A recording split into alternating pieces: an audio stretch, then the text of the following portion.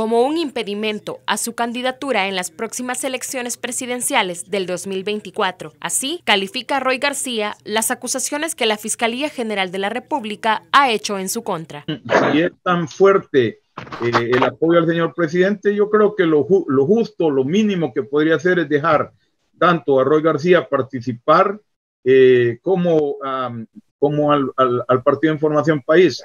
Queremos que el señor presidente se someta a la democracia. No queremos una eh, que haya una reelección. Creemos que va contra la Constitución, aunque en este momento las leyes las interpretan como ellos quieren. Además, García expuso que ha sido víctima de persecución, no solo en El Salvador, sino también en los Estados Unidos. Y dice que su caso es un ejemplo de lo que el Estado salvadoreño hace para intimidar a todos aquellos que se quieren rebelar contra el sistema. Eh, me estoy protegiendo de la, de la persecución aún aquí en, aquí en Estados Unidos. Me he tenido que cambiar de casa eh, han tratado de, bueno, violentaron las, donde me llega mi correspondencia para buscar mis direcciones.